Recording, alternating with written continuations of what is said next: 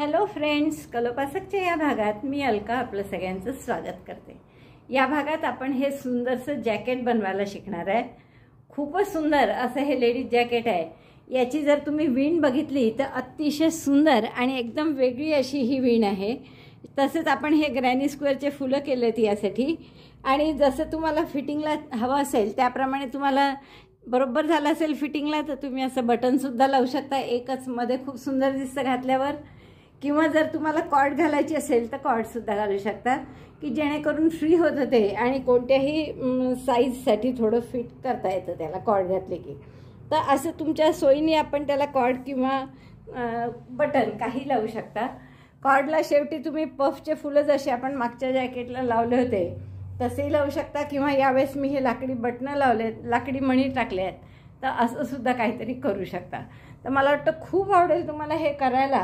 आणि यासाठी एकूण आपल्याला अबोली कलरची जवळपास तीनशे साठ ग्रॅम लोकर लागली आहे अबोली कलरची. व्हाईट जी आहे ती चोवीस ग्रॅम लागली आहे आणि ब्राऊन जी आहे ती आठ आठ ग्रॅम लागलेली आहे. तर अशी ही सुंदर जॅकेट करायला तुम्हाला नक्कीच खूप आवडेल. याची जर आपण रुंदी बघितली तर ती सतरा साडेसतरा जवळपास म्हणजे पस्तीस इंच चेस्टसाठी होऊ शकतं छान. आणि उंची त्याची सव्वीस साडे सव्वीस इंच आहे. उंची जवळपास सव्वीस सव्वीसच्या इंचवरच आहे. सव्वीस इंच साडेसव्वीस इंच अशी उंची ठेवली आहे आपण. तर तुम्हाला हवी तशी उंची आणि हवी तशी रुंदी तुम्ही त्याची करू शकता. अतिशय सुंदर आणि युनिक डिझाईन जसं हे तुम्हाला असं डिझाईन कुठेही बघायला मिळणार नाही. तर असं हे सुंदर डिझाईन तुम्ही करा. आणि छान असं बटन बटनही खूप सुंदर आहे. तुम्हाला हवं असं असं तुम्ही दोन तीन किती हवे तेवढे लावू शकता. फिटिंगला पूर्ण व्यवस्थित झालं असेल तर. किंवा थोडं सैल हवं असेल तुम्हाला करून तर तुम्ही हे कॉर्डसुद्धा टाकू शकता. कॉर्ड कशी करायची तर हेही मी तुम्हाला सांगितलेलं आहे. आपण साधी चेन केलेली आहे तिहेरी दोरा घेऊन. तीन छोटे छोटे बॉल करून घेतले आणि त्याचं तिहेरी दोरा घेऊन साधी चेन केलेली आहे. तर असं हे सुंदर जॅकेट तुम्ही नक्कीच कराल. पटकन आवडलं असेल तर आधीच लाईक करा शेअर करा आपल्या मित्रमैत्रिणींमध्ये. चॅनल नसेल सबस्क्राईब केलं तर प्लीज चॅनल सबस्क्राईब करा. चला आपण याचं पॅटर्न पाहू. आणि तुमच्या आवडत्या व्यक्तीसाठी किंवा स्वतःसाठी सुद्धा तुम्ही असं सुंदरसं जॅकेट बनवा. लेडीज जॅकेटसाठी आपण हा कलर घेतलाय. वर्धमानचीच लोकर आहे फोर प्लाय आणि सुई घेतली आपण थ्री पॉईंट फाईव्ह एम एमची आता मी जे जॅकेट करणार आहे ते दहा बारा वर्षाच्या मुलीसाठी आहे. त्यामुळे मला त्याची रुंदी फार तर फार पंधरा इंच म्हणजे तीस इंच चेस्ट असलेलं करायचं आहे त्यामुळे मी काय करणार आहे की तीस इंच लांबी होईपर्यंत त्यात आपल्याला काचपट्टी बटनपट्टी मोठी करायची आहे दोन दोन इंचाची. त्यामुळे आपल्याला एकोणतीस इंच लांबी होईपर्यंतच फक्त टाके घालायचे. तर मी साधे असे चेन घातल्या. एकोणतीस इंच लांबी होईपर्यंत. एक दोन तीन चार सैल हाता निघाला आणि पाच सहा. अशी एकोणतीस इंच लांबी होईपर्यंत चेन करून घ्या. आपल्याला उंची ठेवाय करायची आहे एकोणतीस इंच लांब आणि पंधरा ते सोळा इंच रुंद असं आपल्याला चौकोन करायचा आहे. जो मी करून ठेवलाय आधी आणि आता मी तुम्हाला त्याचं डिझाईन कसं आहे ते सांगणार आहे. हे बघा हे आपलं सुंदरसं असं डिझाईन आहे. आपण जे जॅकेटसाठी निवडलंय ते. आता या डिझाईनचा मी असा एकोणतीस इंच लांब आणि पंधरा ते सोळा इंच रुंद असा चौकोन करून घेतलेला आहे बघा. बघा हे एकोणतीस ते तीस इंच जवळपास लांब आहे. आणि आपण याची रुंदी बघाल आपलं चौकोनाची. तर ती चौकोनाची रुंदी साधारण पंधरा ते सोळा इंच आहे. सोळा इंच साडे सोळा इंच साधारण रुंदी आहे त्याची. तर हा चौकोन मी करून घेतलाय तसाच आपल्याला करायचा आहे तर आता मी हे चौकोन चौकोनाचं जे डिझाईन आहे हे डिझाईन फक्त दाखवणार आहे तुम्हाला आधी कसं करायचं ते. हे डिझाईन काही माझं स्वतःचं नाही आहे मिलग्रॉस इना म्हणून एक क्रोचेटर आहे त्यांचं हे डिझाईन आहे आणि आपण ते डिझाईन जॅकेट करण्यासाठी वापरणार आहे. तर त्यांनी हे दिलेलं डिझाईन करण्यासाठी आठच्या पटीत आपल्याला टाके पाहिजे आठच्या पट्टीत टाके पाहिजे. हे पॅटर्न जे आहेत ते असे माझे इथे एकशे पंचेचाळीस टाके घेतलेले आहेत मी तीस इंचासाठी. एकशे पंचेचाळीस. आणि त्या एकशे पंचेचाळीस चेनमध्ये आपल्याला हे जे पॅटर्न आहे असं एक एक शेल म्हणा याला तर असे अठरा शेल आलेले आहे पहा. एक दोन तीन आणि तीन सहा नऊ बारा पंधरा आणि तीन अठरा. तर असे अठरा शेल आलेले आहे आपले. एकोणतीस तीस तीस इंचासाठी समजा. तर तुम्हाला प्रत्येक शेल जवळपास जर तुम्ही बघितला तर तो एक पॉईंट सात म्हणजे जवळपास दीड पावणे दोन इंचाच्या मध्ये असं साधारण त्याची रुंदी आहे. तुम्ही जर एकेका शेलची रुंदी बघाल तर ती साधारण दीड ते पावणे दोन इंच आहे. असं इथपर्यंत येते साधारण. तर म्हणून आपल्याला जर तीन तीन इंच वाढवायची असेल रुंदी तर दोन दोन शेल आपल्याला हे जास्तीचे घ्यावे लागतील. प्रत्येक शेल आठ टाक्यांचा. त्यामुळे आपल्याला सोळाच्या दोन दोन इंचांनी मोठा करायचा असेल तर आपल्याला सोळाच्या पटीत दोन अडीच इंचांनी वाढतं. तर आपण नमुना करून दाखवते मी तुम्हाला आधी या डिझाईनचा तर तो नमुना करण्यासाठी सुद्धा आपल्याला आठच्या पटीत अधिक एक इतके टाके घ्यावे लागतील. तर म्हणून आपण नमुना करण्यासाठी तेहतीस टाके घेऊ. एक दोन तीन चार पाच सहा. असे तेहतीस चेन करून घ्या. नमुना करण्यासाठी आपण या तेहतीस चेन करून घेतल्या. आता आपण काय करणार की एक चेन जास्तीची करा आणि पहिल्या चेनमध्ये एक चेन सोडून द्या ही केलेली आता आणि दुसऱ्या चेनमध्ये एक सिंगल क्रोशे करून घ्या. पहिली ओळ पहा कशी आता. पहिल्या टाक्यात सिंगल क्रोशे मग तीन टाके सोडायचे आणि एक शेल करायचा. तर तीन टाके सोडणार आपण यात विणलाय पाहता एक दोन तीन सोडले. आणि चौथ्या टाक्यामध्ये शेल करायचा. म्हणजे दोन डबल क्रोशे दोन तीन डबल क्रोशे दोन चेन तीन डबल क्रोशे तर डबल क्रोशे करायचा म्हणून मी दोऱ्याचा वेढा घेऊन टाक्यात घालत आहे दोऱ्याचा वेढा घेऊन बाहेर काढलं. तीनाचे दोन दोनाचा एक.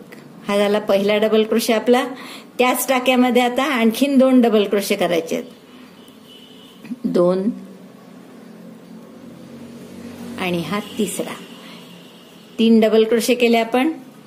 दोन चेन आणि त्याच टाक्यात पुन्हा तीन डबल क्रोशे एक दोन आणि तीन.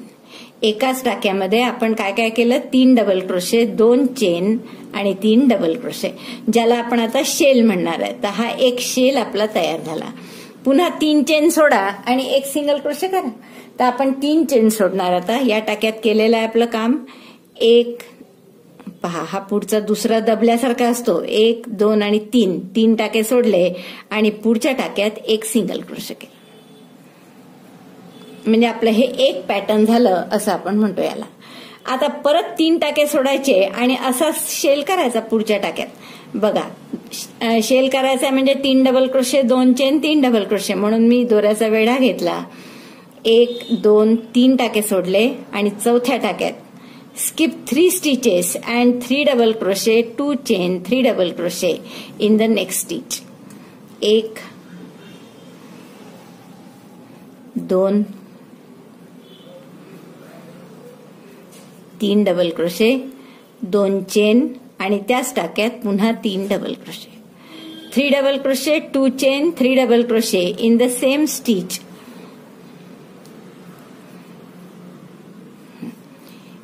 आता परत तीन टाके सोडायचे आणि एक सिंगल क्रोशे करायचा. पहा हा एक टाका जसं मी तुम्हाला सांगितलं दबल्यासारखा असतो. एक दोन आणि तीन टाके सोडले आणि या टाक्यात skip three stitches single crochet in next म्हणजे आपले हे दोन पॅटर्न झाले. आता असंच आणखीन दोनदा करावं लागेल तुम्हाला. दोऱ्याचा वेढा घ्या तीन टाके सोडा एक दोन तीन. आणि चौथ्या टाक्यामध्ये skip three stitches and shell in the next shell म्हणजे तीन डबल क्रोशे दोन चेन तीन डबल क्रोशे शेल केला आपण त्या टाक्यात. आता परत तीन टाके सोडायचे. एक दोन तीन. आणि पुढच्या टाक्यात सिंगल क्रोशे म्हणजे आपले तीन पॅटर्न पूर्ण झाले. दिसतात बरोबर. आता असेच परत तीन टाके सोडायचे आणि एक एक दोन तीन. आणि चौथ्या टाक्यात एक शेल करायचा. तीन डबल क्रोशे दोन चेन तीन डबल क्रोशे असा शेल करून. चार पॅटर्न पूर्ण झाले आपले आता परत तीन टाके सोडायचे आणि एक सिंगल क्रोशे करायचा. एक दोन तीन. आणि या शेवटच्या टाक्यात एक सिंगल क्रोशे बघा. चार पॅटर्न आपले पूर्ण झाले. तेहतीस टाके घेतले चार पॅटर्न झाले. आठ चोक बत्तीस अधिक एक आठच्या पटीत अधिक एक असे आपल्याला टाके घ्यावे लागतात आता दुसऱ्या रोला आपल्याला काय करायचं आहे सहा चेन करा. तीन चार पाच सहा. चेन सिक्स टर्न पलटवला आपण. आणि आता single crochet in chain two space of shell म्हणजे हा जो शेल केला आपण याची ही जी चेन टू स्पेस आहे इथे आपण एक सिंगल क्रोशे केला. लक्षात आलं? परत तीन चेन आणि मग एक पफ करायचा आपल्याला. एक दोन तीन. तीन चेन तुम्ही हे डिझाईन बघू शकता इथे हवं तर.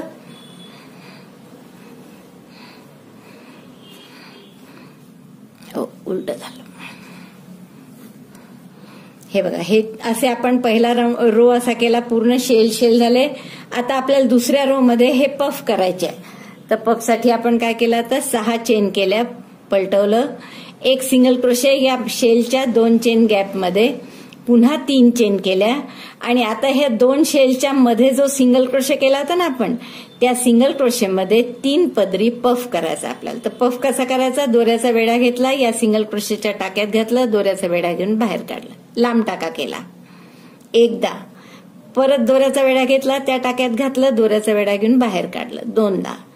हे चार टाके झाले लांब लांब. आणि हा आधीचा एक. आणि असंच तिसऱ्यांदा म्हणजे हे सहा टाके झाले. एकूण सात आहे आधीचा एक टाका धरून. दोऱ्याचा वेढा घेऊन या सहा टाक्यातून काढलं दोऱ्याचा वेढा घेऊन उरलेल्या दोन टाक्यातून काढलं. हा झाला आपला शेल. पुन्हा तीन चेन करायच्या. एक दोन तीन. आणि हा जो आधीचा शेल होता त्याच्या दोन चेन गॅपमध्ये एक सिंगल क्रोश करायचा. असं डिझाईन आपलं तयार होत आहे. परत तीन चेन.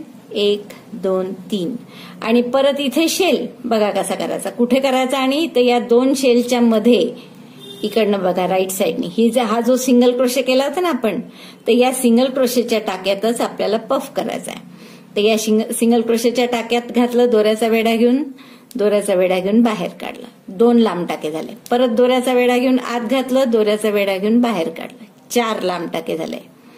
असंच आणखीन एकदा सहा लांब टाकेन एक आधीचा. दोऱ्याचा वेढा घेऊन सहा टाक्यातून काढायचं. दोऱ्याचा वेढा घेऊन आणखीन दोन टाक्यातून काढायचं.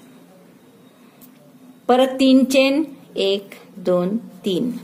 आणि पुन्हा या शेलच्या दोन चेन गॅपमध्ये एक सिंगल क्रोशे असं आपलं डिझाईन तयार झालं. आता तिसऱ्यांदा. परत तीन चेन आणि एक पफ या सिंगल क्रोशेच्या टाक्यात. दोऱ्याचा वेढा घेऊन आत घातलं दोऱ्याचा वेढा घेऊन बाहेर. असं तीनदा करायचं. सात टाक्यात एकूण सुईवर दोऱ्याचा वेढा घेऊन सहा टाक्यातून काढायचं. एक राहील राहील शेवटचा पुन्हा दोऱ्याचा वेढा घेऊन दोन टाक्यातून. म्हणजे असा छान पफ तयार होतो आपला. परत तीन चेन. दोन तीन. या सिंगल क्रोशे करायचा दोन चेन गॅपमध्ये आणि जसं इथे आपण सहा चेन केल्या होत्या म्हणजे एक सिंगल डबल क्रोशेच्या तीन चेन आणि आडव्या तीन चेन तसंच शेवटी करायचं तीन चेन आणि मग इथे एक शेवटचा जो सिंगल क्रोशे होता यात एक डबल क्रोशे म्हणजे हा ही आपली दुसरी ओळ पूर्ण झाली. लक्षात आलं? आता तिसरी ओळ कशी करायची आपल्याला? तर चार चेन करा. एक दोन तीन चार. पलटवायचं. आता हा जो शेल केलाय असा शेल इथे करायचा आहे प्रत्येक पफच्या टोकावर. इथे नवीन शेल येतील. आणि आता इथे आपण पफ केलाच नव्हता त्यामुळे इथे आपण अर्धा शेल करू. तो अर्धा शेल करण्यासाठी हा शेल म्हणजे काय होतं? तीन डबल क्रोशे दोन चेन तीन डबल क्रोशे तर अर्ध्या चेन अर्ध्या शेलसाठी आपण तीन डबल क्रोशे आणि एक चेन करणार आहे. तर हा आपण एक डबल क्रोशे केला आणि एक चेन म्हणून आपण चार चेन केल्या आधी. डबल क्रोशेचे तीन आणि मध्ये एक चेन म्हणून चार केल्या. आणि या पहिल्याच टाक्यात पुन्हा तीन डबल क्रोशे आपण करणार आहे. म्हणजे तो अर्धा शेल झाला आपला. दोन आणि तीन. अर्धा शेल झाला इथे पहिल्या टाक्यात. आता आपल्याला काय करायचंय परत? की इथे एक चेन करा. आणि हा जो सिंगल क्रोशेचा टाका आहे यावर परत एक पफ करा आता. सॉरी यावर पफ नाही यावर एक सिंगल क्रोशे करा. तर सिंगल क्रोशेवर पुन्हा सिंगल क्रोशे केला. बघा अर्धा पफ केला आपला अर्धा शेल केला एक चेन आणि एक सिंगल क्रोशे परत एक चेन केली आणि आता हा जो पफचं टोक असलेला टाका आहे इथे नवीन शेल करायचा. शेल म्हणजे तीन डबल क्रोशे दोन चेन तीन डबल क्रोशे तर दोऱ्याचा वेढा घेतला या पफच्या टोकावरच्या टाक्यात घातलं आणि तिथे आता तीन डबल क्रोशे करणार आपण. एक double crochet one double crochet two double crochet three chain two and again double crochet three in the same stitch त्याच टाक्यामध्ये परत तीन डबल क्रोशे दोन आणि हे तीन. म्हणजे नवीन शेल केला आपण पफच्या टोकावर. दिसला? आता पुन्हा एक चेन करायची आणि या सिंगल क्रोशेवर आपण सिंगल क्रोशे करून तो शेल जोडून घ्यायचा. म्हणजे असं डिझाईन तयार होईल. पुन्हा एक चेन आणि या पफच्या टोकावर नवीन शेल म्हणजे पफच्या टोकावर तीन डबल क्रोशे दोन चेन तीन डबल क्रोशे एक दोन तीन. तीन डबल क्रोशे झाले. दोन चेन आणि त्याच टाक्यात परत तीन डबल क्रोशे एक दोन आणि तीन. नवीन शेल कुठे करत आहे आपण? पफच्या टोकावर. शेल झाला की एक चेन आणि एक सिंगल क्रोशे तर एक चेन केली आणि सिंगल क्रोशेवर सिंगल क्रोशे हा जो सिंगल क्रोशे आहे आधीच्या राऊंड रोचा त्याच्यावर एक सिंगल क्रोशे पद. पुन्हा एक चेन इथे एक शेल पफच्या टोकावर. तर तो करून घेते हा शेल पूर्ण झाला माझा. तीन डबल क्रोशे दोन चेन तीन डबल क्रोशे परत एक चेन करायची आणि सिंगल क्रोशेवर सिंगल क्रोशे करायचा. आता शेवट परत एक चेन करा आणि शेवटचा शेल करायच्या ऐवजी अर्धा शेल करावा लागेल. जसं आपण सुरुवातीला अर्धा शेल केला होता तसंच शेवटी पण. म्हणून हे तीन टाके सोडायचे इथून. एक दोन तीन आणि चौथ्या टाक्यामध्ये तीन डबल क्रोशे पहा एक. दोन. आणि तीन. तीन डबल क्रोशे केले. एक चेन आणि परत त्याच टाक्यात एक डबल क्रोशे इथे काय केलं होतं आपण सुरुवातीला? एक डबल क्रोशे एक चेन तर पहिला डबल क्रोशे तीन चेनचा होता. म्हणून चार चेन केले होते एकूण. ही इथे एक चेनची गॅप आहे. आणि त्यानंतर तीन डबल क्रोशे त्याच्याच विरुद्ध इकडे करायचं. म्हणजे तीन डबल क्रोशे केले आधी एक चेन आणि मग परत त्यावरच एक डबल क्रोशे तर हा ही झाली आपली तिसरी ओळ. आता चौथ्या ओळीसाठी पुन्हा एक चेन केली पलटवलं. आणि ही जी एक चेनची गॅप आहे आपली तर याच्यात एक सिंगल क्रोशे केला. एक चेनच्या गॅपमध्ये सिंगल क्रोशे आता ही ओळ कशी आहे? पफ बनवण्याची. तर पफ पफ बनवायची. म्हणजे आपण तीन चेन करणार परत. एक दोन तीन. आणि पफ कुठे बनवायचं? तर या दोन शेलच्या मधल्या सिंगल क्रोशेवर तर इथे एक पफ बनवला. एक दोन तीन. डबल क्रोशे सारखे लांब टाके काढले तीनदा. म्हणजे सात टाके आहेत सुईवर. दोऱ्याचा वेढा घेऊन सहा टाक्यातून काढलं त्यापैकी. दोऱ्याचा वेढा घेऊन दोन टाक्यातून. पुन्हा तीन चेन आणि या शेलच्या मध्यभागी दोन चेनच्या गॅपमध्ये एक सिंगल क्रोशे परत तीन चेन आणि या सिंगल क्रोशेवर एक पफ एक. तीनदा काढायचे डबल क्रोशे सारखे लांब टाके. दोन. तीन. सहा टाक्यातून काढलं आणि मग एका टाक्यातून. परत तीन चेन तीन चेन एक सिंगल क्रोशे तीन चेन एक पफ पुन्हा तीन चेन आता एक पफ मग परत तीन चेन सिंगल क्रोशे तीन चेन पफ आणि तीन चेन जोडायचा शेवट तीन चेन तीन चेन एक पफ तीन चेन एक सिंगल क्रोशे पुन्हा तीन चेन पफ तीन चेन सिंगल क्रोशे अशी ही ओळ केली आपण.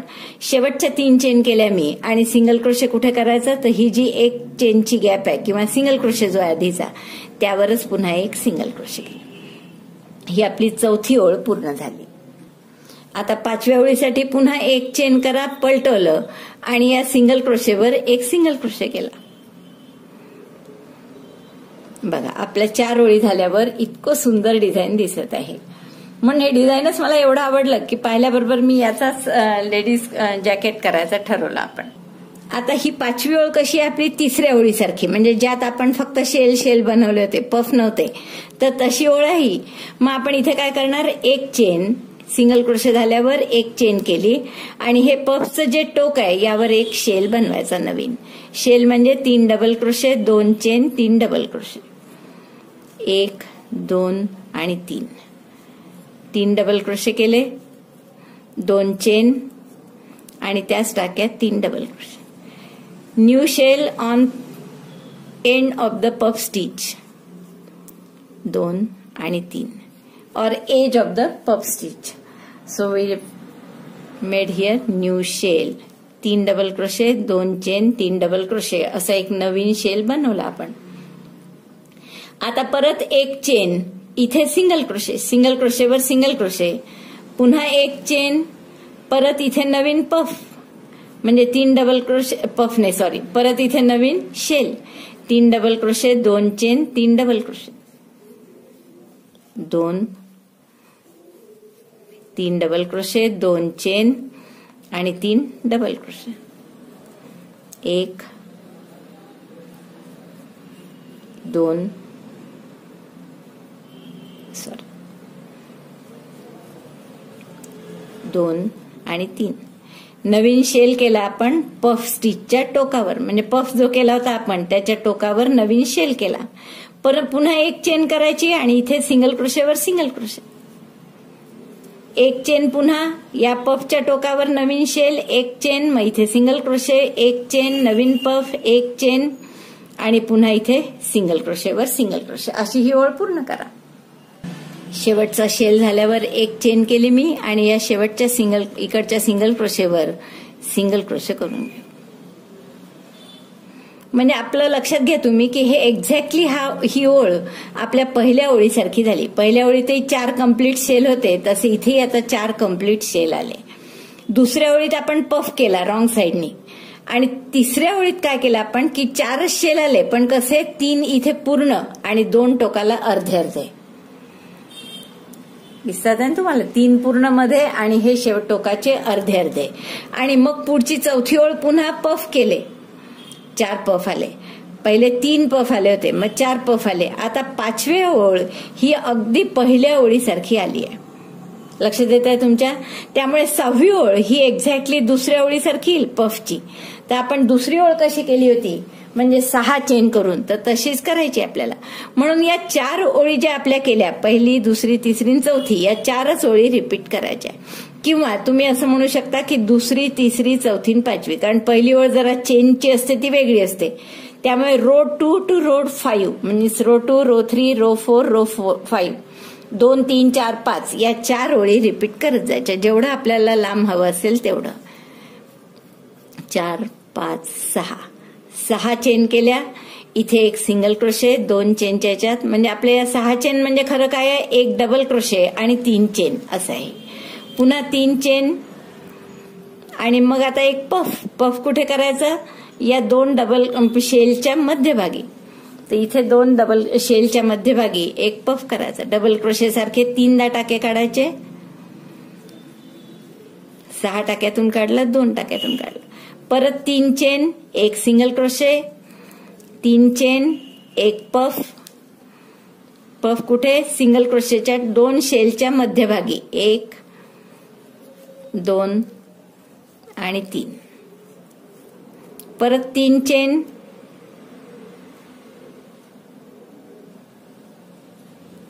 एक दोन तीन. एक सिंगल क्रोशे अशी ही ओळ पूर्ण करा.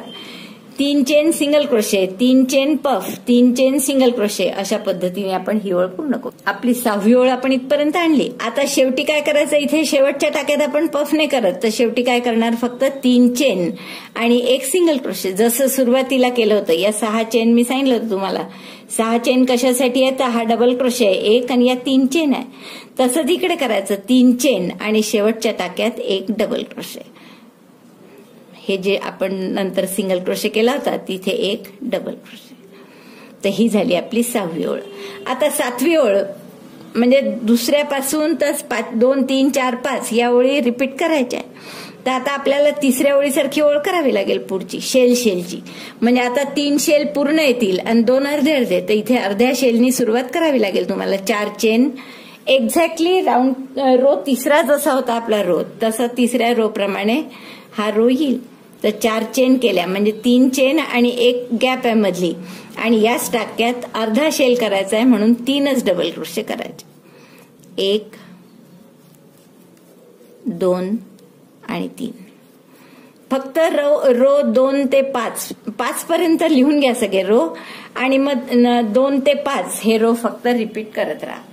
पूर्ण आपल्याला डिझाईन असंच करायचं आहे पण डायरेक्ट स्वेटरवर टाकण्यापेक्षा आधी असा एक नमुना करून ठेवा जसा मी तुम्हाला दाखवलाय. आणि मग तुम्हाला हवी असेल त्या रुंदीप्रमाणे आपण हवं हवे तितके पॅटर्न घेऊन हे डिझाईन करू शकतो. आता हा अर्धा शेल झाल्यावर एक चेन मग एक सिंगल क्रोशे इथे. या ओळीत आता पफ नाही आहे फक्त शेल आणि हेच आहे. एक चेन पुन्हा आणि नवीन शेल कुठे तर या पफच्या टोकावर. तीन डबल क्रोशे दोन चेन तीन डबल क्रोशे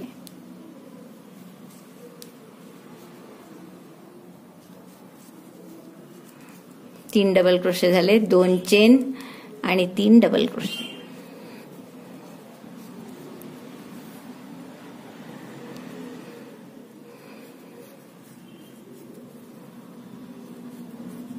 पुन्हा एक चेन करायची आणि इथे सिंगल क्रोशे बघा असा एक पूर्ण शेल झाला एक अर्धा आता इथेही परत पूर्ण येईल इथेही पूर्ण. म्हणजे तीन पूर्ण शेल होतील आणि शेवटच्या टोकावर परत अर्धा. तर मी हे मधले दोन करून घेते शेल. बघा आता हे तीन पूर्ण शेल आले. हा जसा अर्धा आहे टोकाला तसंच इकडे अर्धा करावा लागेल टोकाला. तर हे सिंगल क्रोशे झाल्यावर मी एक चेन केली. आणि इथे तीन चेन सोडायच्या. एक दोन तीन. आणि या चौथ्या चेनमध्ये तीन डबल क्रोशे एक चेन तीन डबल क्रोशे एक दोन. तीन. तीन डबल क्रोशे एक चेन आणि एक डबल क्रोशे तीन नाही मी सॉरी तीन म्हटलं का चुकून? तर असा आपला हा रो पूर्ण झाला. तर बस हे दोन तीन चार पाच हे रोज रिपीट करत राहायचे. तुम्हाला जितकं लांब हवं असेल तेवढं.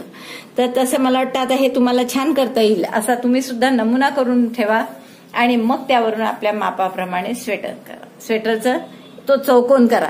आणि तो चौकोन कसा करतो? आपण मी तुम्हाला सांगितलंय की जेवढी तुमची तुम्हाला रुंदी हवी असेल पूर्ण स्वेटरची त्याच्या दुप्पट अशी आपण घ्यायची याची रुंदी.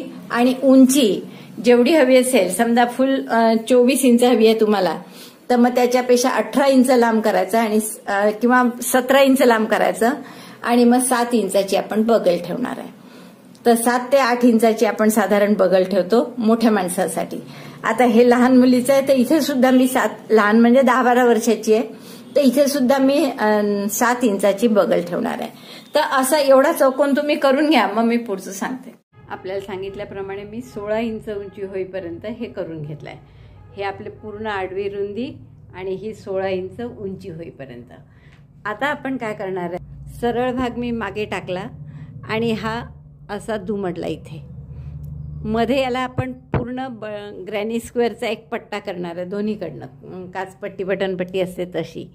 त्यामुळे आता आपण हे याची विड्थ जी आहे ती सोळा सतरा व्हायला पाहिजे. तर जसं आता इथे मी सा साडे सोळा सतरा केली आहे तर यासाठी हा मधला जो भाग आहे सात इंच आहे तर सात इंचाच्या दोन पट्ट्या म्हणजे अशा साडेतीन किंवा पावणे चार इंचाची एक एक ग्रॅनी स्क्वेअर अशी ग्रॅनी स्क्वेअरची पट्टी आपण आपण दोन्ही बाजूनी करणार आहे. मग आता बॅकसाईड जी आहे या याचा बगलेचा भाग करायचा आहे अजून आपल्या शोल्डरचा तर त्यासाठी आपण फक्त साधे म्हणजे सरळ खांब एक ओळ खांबाची आणि एक सिंगल क्रोशेची म्हणजे एक डबल क्रोशेची एक सिंगल क्रोशेची अशी सोपं विण करणार आहे.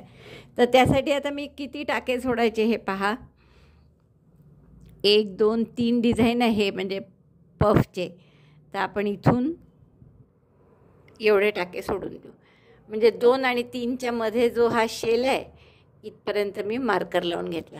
हे तीन जे पफ होते त्यापैकी दुसरा आणि तिसऱ्याच्या मध्ये जे शेल मध्ये जो शेल आहे तिथे आपण पिन लावून घेतली. तसंच इकडे सुद्धा एक दोन तीन शेल आहेत आपलं तीन पफ आहेत. तर त्यापैकी हा जो दुसरा आणि तिसऱ्या शेल म्हणजे पफच्या मध्ये जो शेल आहे त्या शेलला आपण इथे सुद्धा मार्कर लावून घेतलं. आता आपण काय करणार आहे? मागचा भाग आधी करू. आता आपल्याला मागचा पुढचा असे सगळे वेगवेगळे भाग करावे लागणार आहे. तर या मार्करपासून या मार्करपर्यंत म्हणजे या शेलपासून सुरुवात करू आपण. तर इथून पूर्ण टाके करत करत आपल्याला इथपर्यंत यायचं आहे या शेलपर्यंत आणि सगळे आपण डबल क्रोशे करणार आता या दोन मार्करमध्ये किती टाके यायला हवे? तर तुम्हाला माहीत आहे की एका डिझाईनसाठी आठ टाके लागतात आपल्याला. तर आपण हे पूर्ण डिझाईनपासून सुरुवात करू या पफच्या पुढचं. म्हणजे एक दोन तीन चार पाच सहा सात आणि आठ पूर्ण डिझाईन आहे. म्हणजे आठ हेटी चौसष्ट. आणि या पफच्या इकडे चार टाके आहेत तीन हे एकमधला एक मधला.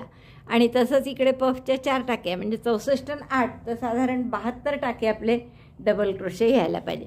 तर आधी आपण राईट साईडने करू म्हणून ही राईट साईड आहे तर मी इथे जोडते. आहे मार्कर काढू आणि आपण या शेलच्या मध्यभागी. इथे आपण जोडून घेऊ. किंवा गॅपमध्ये जोडलं तरी चालेल. बॅलन्स म्हणजे वजन पेलायच्या दृष्टीने. आता आपल्याला इथून प्रत्येक टाक्यात एक एक डबल क्रोशे करायचा आहे. तर पहिला डबल क्रोशे म्हणून आपण तीन चेनचा केला. मी तुम्हाला अंदाज सांगितला की साधारण बहात्तर डबल क्रोशे यायला पाहिजे. आता या गॅपमध्ये आपण तीन डबल क्रोशे करू. One two three. नंतर यामधल्या पफचा जो टाका आहे याच्यावर एक डबल क्रोशे करू. या टाक्यात. परत गॅपमध्ये तीन डबल क्रोशे एक.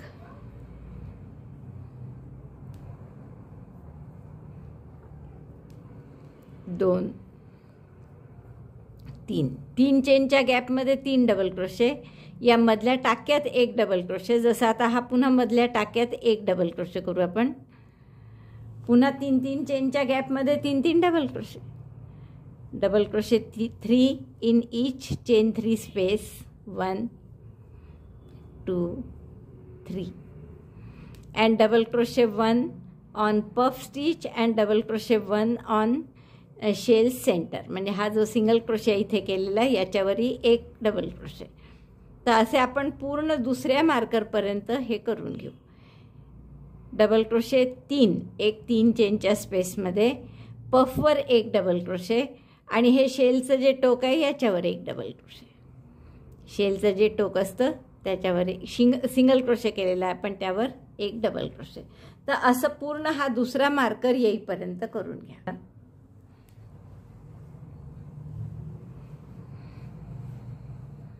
हे बॅक साईडचे आपले त्र्याहत्तर टाके झाले आहेत.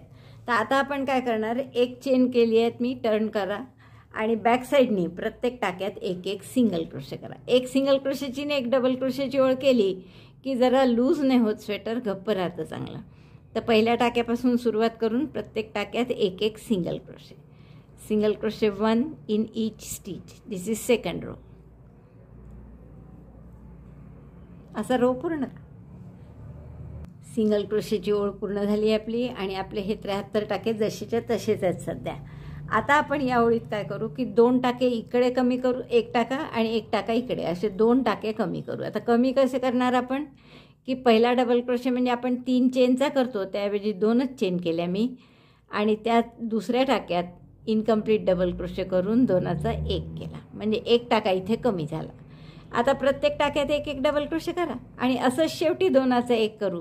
म्हणजे दोन टाके कमी होतील. मग नंतर चार ओळीनंतर पुन्हा असेच दोन टाके कमी करा. इकडे एक या बाजूला आणि एक त्या बाजूला. तर असे आपण चा तीन तीन टाके दोन्ही बाजूनी कमी करू. आणि मग उरलेलं जसंच्या तसंच पूर्ण विणायचं. किती होईपर्यंत याची उंची? म्हणजे मागचा भाग सुरू केल्यापासून आठ इंच उंची होईपर्यंत करा हे. आता आपले हे पूर्ण श डबल क्रोशेची ओळ झाली आहे आणि दोन टाके आपले शेवटचे उरले. की आपल्याला दोनाचा एक करायचं आहे. तर हे दोन टाके उरले आहेत आता. तर इनकम्प्लीट डबल क्रोशे करू आपण पहिल्या टाक्यात. इनकम्प्लीट डबल क्रोशे दुसऱ्या टाक्यात. आणि मग दोनाचा एक. म्हणजे पहिले एक त्र्याहत्तर टाके होते. आता इकडचा एक आणि इकडचा एक कमी झाला. म्हणजे एकाहत्तर टाके असतील हे. आता प्रत्येक टाक्यात एक एक सिंगल क्रोशे करा. एक चेन करून. मग परत एक डबल क्रोशेची ओळ. असे आपल्या एक चार ओळी झाल्या की पुन्हा एक एक टाका असाच डबल क्रोशेच्या वेळेस कमी करा. आणि याची पूर्ण उंची अशी वरती म्हणजे इथून पुढे आठ इंच होईपर्यंत हे एक डबल क्रोशे एक सिंगल क्रोशे असं चालू दे चांगलं आठ इंच होईस्तो. आणि तेवढं झालं की मग आपण तसेच समोरचे भाग करून घ्यायचे आहेत. आणि समोरचे भाग कुठपर्यंत? फक्त मार्करपर्यंत एवढेच टाके विणायचे आहेत. आणि असेच करायचे आहेत ते मी तुम्हाला नंतर सांगते. एवढं पूर्ण करून घेऊ मागचा भाग. आपल्याला सांगितल्याप्रमाणे हा मागचा भाग मी पूर्ण केला आहे बघा. जवळपास मला एक दोन तीन चार पाच सहा सात आठ नऊ दहा अकरा बारा तेरा thirteen thirteen rows of double crochet and thirteen rows of single crochet म्हणजे सव्वीस ओळी कराव्या लागल्या आहेत. आणि आपण जर याची उंची पाहिली तर ती आता झालेली आहे बरोबर आठ इंच झाली आहे. आठच्याही थोडी वरच आहे एक सूत. तर आठ इंच उंची होईपर्यंत आपण एक ओळ डबल क्रोशेची आणि एक ओळ सिंगल क्रोशेची म्हणजे थोडंसं घप्प डिझाईन दिसतं पहा छान. तर अशी करून घेतलेली आहे. आणि आता आपल्याला काय करायचं आहे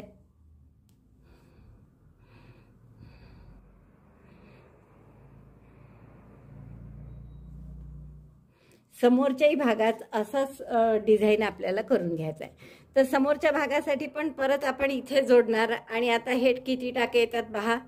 तीन तीन चेनच्या गॅप आहेत. या यात तीन तीन डबल क्रोशे करू आपण. डबल क्रोशे जो राईट साईडनी येईल असं करायचं आहे. त्यामुळे ही राईट साईड आहे. तर इथे आपण पहिल्यांदा जोडू.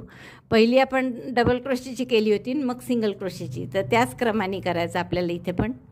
हा दोरा जोडला मी परत कॉर्नरला पहिला डबल क्रोशे म्हणून तीन चेन केल्या. आता या गॅपमध्ये तीन डबल क्रोशे करा. Double crochet one two three नंतर एक डबल क्रोशे या टाक्यात. जसं तिकडे केलं होतं तसंच. बॅक साईडला जसं केलं होतं ना तसंच करायचं आहे. या गॅपमध्ये पुन्हा तीन double crochet double crochet one two three प्रत्येक डिझाईनसाठी आपल्याला आठच्या पटीत घेतले होते आपण टाके. त्यामुळे आठ आठ पुन्हा आले पाहिजे आपले. आता परत या टोकावर या पफच्या टोकावर एक डबल क्रोशे करू. डबल क्रोशे वन पुन्हा या गॅपमध्ये तीन या शेलच्या टोकावर पुन्हा गॅपमध्ये तीन पफच्या टोकावर इथे तीन आणि या शेलच्या टोकावर. इतके डबल क्रोशे आपण करून घेऊ बघा हे आपले वीस डबल क्रोशे करून झाले. या टोकावर एक गॅपमध्ये तीन परत या टोकावर एक गॅपमध्ये तीन. असे चार चार चार चार. पाच वेळा म्हणजे वीस टाके झाले आहेत आता मार्करपर्यंत करायचं होतं आपल्याला तर मी मार्कर काढते आणि या शेलच्या टोकावर सुद्धा एक डबल क्रोशे करून घेऊ. म्हणजे एकवीस झाले. तर हे एकवीस डबल क्रोशे आपल्याला आता विणत जायचे आहे पुढची ओळ सिंगल क्रोशेची म्हणजे एक आता हवं तर आपण इथे समोरचा भाग असल्यामुळे आपण एक डबल क्रोशे जास्तसुद्धा घेऊ शकतो. आपण या गॅपमध्ये शेवटच्या ए आणखीन एक डबल क्रोशे केला. आणि इकडे मागे या शेलच्या टोकावर शेवटचा डबल क्रोशे म्हणजे आता बावीस झाले आपले डबल क्रोशे आता जसं तिकडे बॅक साईड केली आहे आपण तशीच करायची आहे. म्हणजे दुसरं रॉंग साईडने आपण जे काय करणार आहे ती सिंगल क्रोशेची ओळ. एक चेन केली टर्न केलं. एक चेन करून टर्न करा. आता प्रत्येक टाक्यात एक एक single crochet single crochet one in each stitch one row of double crochet another row of single crochet single crochet one in each stitch एकवीस सिंगल क्रोशे करून झाले आहेत माझे. आणि हा शेवटचा तीन चेनचा जो डबल क्रोशे आहे तो पटकन दिसत नाही तर तो आठ त्यासाठी म मोजायचे सरळ सरळ बावीस झाले आहेत की नाही? तीन आणि तीन सहा आणि तीन नऊ तीन बारा पंधरा अठरा वीस आणि बावीस. करेक्ट बावीस झाले. आता परत एक तीन चेन करा. पुढचा डबल क्रोशेचा करायचा आहे म्हणून आणि टर्न करा. आता एक लक्षात घ्या इथे. जसं मी तुम्हाला इकडे मागे कमी करायचे सांगितले होते की डबल क्रोशेच्या वेळेस दोन्हीकडनं एक एक टाका कमी. असं आपण दोन्ही बाजूंनी तीन तीन टाके मी कमी केलेत. तर तसंच या बाजूनी आता इथे काय करायचं? इकडनं कमी करायचे आणि इकडनं इकडनं एकदाच कमी करा. इकडनं नका समोरून या साईडनी कमीच नका करू. फक्त गळ्याची बाजू जी आहे ही गळ्याची बाजू येईल. तर गळ्याच्या बाजूकडनं एक एक एक एक टाका कमी करायचा. तर हे बावीस आहे. मग या मार्कर कशासाठी लावून ठेवले आहेत हे तुमच्या लक्षात नसेल आलं. तर हे मार्कर जिथपर्यंत आहे म्हणजे हे बारा टाके आहेत तर अकरा किंवा बारा टाके उरेपर्यंत आपण याचे एक एक कमी करायचे आहे. दर चौथ्या सुईला. तर चौ असं तेरा ओळी आहेत आपल्या त्यामुळे म्हणजे दर डबल क्रोशेच्या सुईला दुसऱ्या चौथ्या नाही दुसऱ्या. तर आता डबल क्रोशेची ओळ आहे तर इथे आपण एक टाका कमी करू. म्हणजे बावीसचे एकवीस होतील म्हणून मी दोनच चेन केल्या. इनकम्प्लीट डबल क्रोशे म्हणून दोन चेन केल्या. पुढच्या टा टाक्यातही इनकम्प्लीट डबल क्रोशे आणि दोनाचा एक. म्हणजे इथे दोन टाके विणले पण एकच टाका आला. तुमच्या हवं तर एक टाका कोणता दिसत नाही खूपदा कमी केलेला. त्यामुळे इथे मार्कर घालून ठेवलं तर आणखीन सोयीचं होईल की हा पहिला टाका आहे आपला. आता परत प्रत्येक टाक्यामध्ये एक एक डबल क्रोशे आणि जसं मी तुम्हाला सांगितलं आहे की या साईडनी कमी नका करू फक्त गळ्याच्या बाजूनी कमी करा. तर गळ्याच्या बाजूनी असं आपण डी डबल क्रोशेच्या वेळेस एक टाका कमी केला. तर असे एक बावीस आहे तर बावीसचे अकरा किंवा बारा टाके होईपर्यंत कमी करायचे. प्रत्येक टाक्यात एक एक डबल क्रोशे ही ओळ झाली आपली. आता टाके एकवीसच आहे आणि बघा इकडे आपण कमी केलेला नाही आहे या बाजूला. फक्त गळ्याच्या साईडनी कमी करतो आहे आता पुढचं सिंगल क्रोशेची ओळ आहे त्यात कमीच नाही करायचं आहे मग परत जेव्हा डबल क्रोशेची येईल तेव्हा एक टाका कमी कर. वीस टाक्यांमध्ये सिंगल क्रोशेची ओळ झाली आहे आपली. मार्कर काढलं मी आणि पहिल्या टाक्यात पुन्हा सिंगल क्रोशे करायचं. तर हे एकवीस टाके आपले पूर्ण झाले. आता परत आपल्याला टाका कमी करायचा आहे. फक्त गळ्याच्या बाजूनी. या इकडनं आपण कमी करतो इकडे कमी नाही करत आहे. तर म्हणून मी दोनच चेन केल्या इनकम्प्लीट डबल क्रोशेच्या पुढच्या टाक्यात इनकम्प्लीट डबल क्रोशे आणि दोनाचा एक. हा आपला पहिला टाका आहे. तर इथे मार्कर लावून ठेवा. म्हणजे टाके वाढत नाही बरोबर बरोबर एकवीस आहे आता वीस होतील टाके. तर असे वीस टाके येतील. आता ही ओळ डबल क्रोशेची याच्या मागे सिंग नंतर सिंगल क्रोशेची डबल क्रोशेच्या ओळीत आपण एक एक टाका कमी करतोय. तर हे बावीस आहे ते आपल्याला बारा उरेपर्यंत म्हणजे दहा टाके कमी करायचे. आणि कमी करणं झालं की मग जेवढे टाके आहेत ते तसेच करत जायचे पुढे. दहा किंवा अकरा जरी केले म्हणजे अकरा उरवले शेवटी तरी चालेल. आता अशीच ही बाजू कंप्लीट करायची आहे. तर ही बाजू कमी करताना कंप्लीट करताना फक्त काय लक्षात ठेवायचं? असे जसे इथे बावीस टक्के आले तसे इथेही बावीस टक्केच घेतले जातील. आणि राईट साईड पहिले करायची त्यामुळे इथे जॉईन करा नवीन दोरा. इकडे नका करून. इकडे केला तर इकडनं विणावं लागेल म्हणजे रॉंग साईड पहिले येईल. तर राईट साईड करायची आहे म्हणून मार्कर जिथे लावला आहे तिथे दोरा जोडायचा. आणि हे इकडनं असे बावीस टक्के येतील. मग परत सिंगल क्रोशेची ओळ. आणि मग जेव्हा डबल क्रोशेची करू तेव्हा इथे नाही कमी करायचा टाका. या बाजूनी कमी करायचा. गळ्याच्या साईडनी ही बगल्याची साईड आहे. बगल्याच्या साईडनी नाही कमी करायचा. फक्त गळ्याच्या साईडनी असंच कमी करत करत शेवटी अकरा टाके उरेपर्यंत कमी करायचं. तर असं पूर्ण दोन्ही बाजू या करून घ्या. आता या दोन्ही बाजू तुमच्या पूर्ण झाल्या की इथे आपण असं एक ग्रॅनी स्क्वेअरची पट्टी लावणार आहे. तर ते ग्रॅनी स्क्वेअरचं फूल कसं करायचं हे मी तुम्हाला दाखवते. त्या ग्रॅनी स्क्वेअरसाठी आपण हे तीन रंग घेऊ पुन्हा. आणि आपल्याला सुरुवात करायची आहे या रेडिश जो कलर आहे त्यांनी. मॅजिक लूपमध्ये बारा डबल क्रोशे करा. सुई घेतली आहे आपण. मॅजिक लूपमध्ये double crochet twelve in magic loop one two three पहिला डबल क्रोशे तीन चेनचा नंतर असे अकरा डबल क्रोशे करा. वन टू दोरा ओढून मॅजिक लूप बंद केलं मी आणि पहिल्या डबल क्रोशेशी स्लिप स्टिचनी जोडून घेऊ आपण.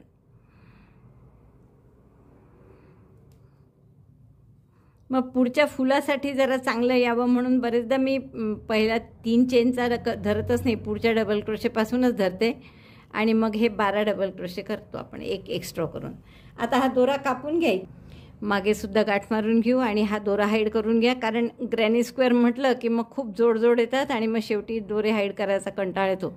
त्यामुळे सुरुवातीलाच जसजसं होईल तसतसे दोरे हाईड करून घ्या. याच्या पुढचा राऊंड आपण पांढऱ्याने करू.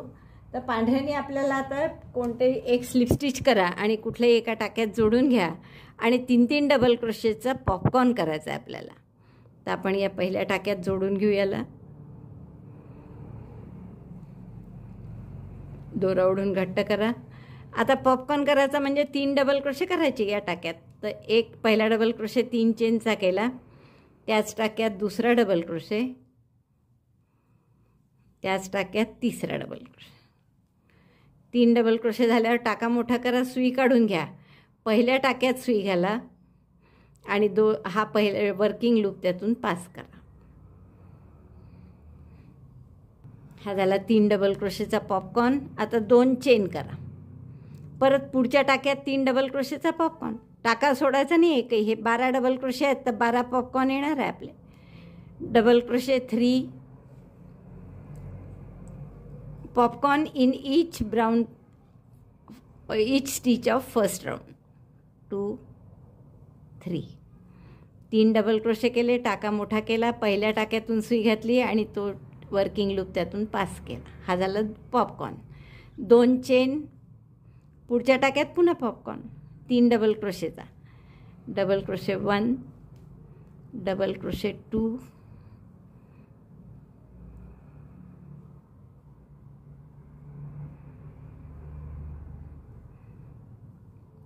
double crochet three.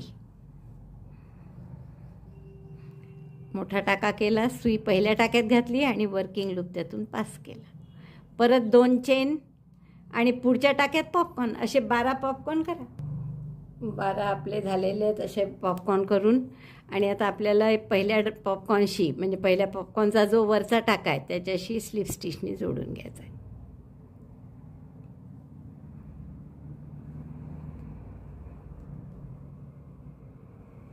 पांढरा दोराही कापून घेऊ आता आणि शेवटचा राऊंड आपण गुलाबीने करणार आहे.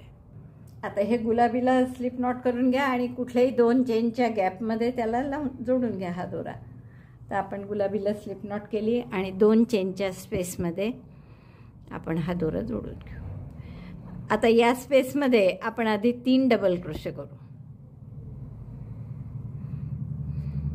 Double crochet three in chain two space first double crochet means chain three नेहमीप्रमाणे आणि आणखीन दोन डबल क्रोशे करा. Double crochet one double crochet two पुढच्या गॅपमध्ये पुन्हा तीन डबल क्रोशे करा. दुसऱ्या गॅपमधले तीन double crochet double crochet one two three दोनदा झालं तीन तीन डबल क्रोशे की पुढच्या गॅपमध्ये आता कॉर्नर करायचा आहे. कॉर्नरसाठी काय करू आपण? दोन वेढ्यांचा खांब म्हणजे ट्रिबल तर तीन ट्रिबल दोन चेन तीन ट्रिबल असं आपल्याला कॉर्नर करायचं आहे. तर आपण दोन वेढ्यांचा खांब घेतला. पुन्हा दुसरा त्याच गॅपमध्ये treble one treble two and this is treble three तीन ट्रिबल दोन चेन. आणि पुन्हा तीन ट्रिबल त्याच गॅपमध्ये. Treble one treble two treble three.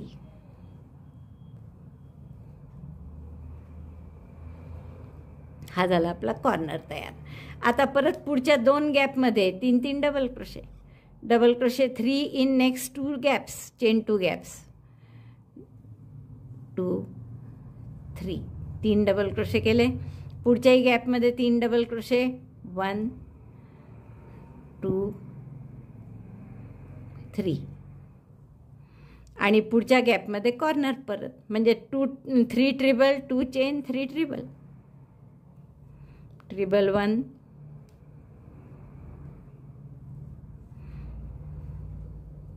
treble two treble three chain two. आणि परत तीन ट्रिबल त्यातच. दोन वेड्या घेऊन चाराचे तीन तीनाचे दोन दोनाचा एक. पुन्हा दोन वेडे गॅपमध्ये टाकलं दोऱ्याचा वेडा घेऊन बाहेर काढलं चार टाक्यात आहेत चाराचे तीन तीनाचे दोन दोनाचा एक. आणि तिसऱ्यांदा. असे कॉर्नर करायचे चार आणि मध्ये तीन तीन डबल क्रोशाचे दोन गट.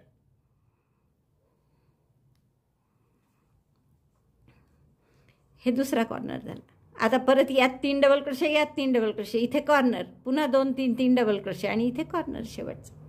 तर आपल्या या शेवटचे तीन ट्रिबल दोन चेन तीन ट्रिबल हा कॉर्नर झाला आहे आता पहिल्या डबल क्रोशेशी म्हणजे या तिसऱ्या चेनशी स्लिप स्टिचने आपण जोडून घेऊ आणि आपला दोरा कापून हाईड करून घ्या बरोबर. तर असा हा ग्रॅनी स्क्वेअर करायचा आहे. तर हा एक ग्रॅनी स्क्वेअर झाला पूर्ण केला आपण. आता दुसरा तुम्ही करा आणि फक्त त्याचे दोनच कॉर्नर करा आणि इथपर्यंत या. तिसरा कॉर्नर पूर्ण नका करू. तर एवढे दोन कॉर्नर करून तिसरा कॉर्नर अर्धवट करून मग आपल्याला पै दोन्ही ग्रॅनी स्क्वेअर जोडायचे आहे. तर सध्या तुम्ही हा पूर्ण झाला आहे आपला इथे दोरा कापून घेऊन. दुसरा कसा कराल? तर पूर्ण सुरुवात अशीच करून दोन कॉर्नर पूर्ण करा आणि तिसरा कॉर्नर अर्धाच करा. तर हा एक ग्रॅनी स्क्वेअर आपला पूर्ण झाला आहे छान करून. आता दुसरा आपण अर्धा करून अर्धा म्हणजे दोन कॉर्नर करून तिसरा कसा जोडायचा ते पाहू. बघा दुसऱ्या ग्रॅनी स्क्वेअरची मी फक्त दोन कॉर्नर पूर्ण केले आणि तिसरा आपण हा तीन ट्रिबल केले फक्त पुढचं काहीच केलं नाही. तर दोन चेन करतो आपण तर एक चेन करा आणि या ग्रॅनीशी जो झाला आहे आपला त्याच्याशी आपल्याला हे जोडायचं आहे. तर आता जोडणार कसं आपण तो उलटा करा ग्रॅनी पहिला रॉंग साईड म्हणजे रॉंग साईड रॉंग साईडवर ठेवतो तसं. आणि याच्या दोन चेन गॅपमध्ये त्याला सिंगल क्रोशांनी जोडून घ्या. म्हणजे दोन चेन करण्याऐवजी आपण एक चेन आणि एक सिंगल क्रोशे केला यात. आता परत आपल्याला इथे तीन ट्रिबल करावे लागतील या कॉर्नरमध्ये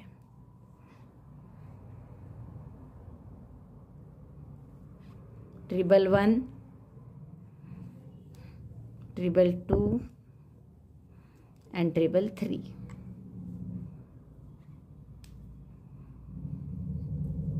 आता इथे तीन डबल क्रोशे करायचे तर ते तीन डबल क्रोशे करायच्या आधी हा टाका थोडासा मोठा करा आणि या गॅपमधून त्याला पास करा. इथला जो कॉर्नर झाला आहे ना त्या गॅपमधून आपण त्याला पास करू. म्हणजे हे जोडायचे आहेत आपल्याला दोन्ही ग्रॅनी एकमेकांशी म्हणून. आणि आता तीन डबल क्रोशे पुढच्या गॅपमध्ये करा. फक्त आपण हे गॅप जोडून घेतली त्यातली. आता तीन डबल क्रोशे पुढच्या गॅपमध्ये करतो आहे वन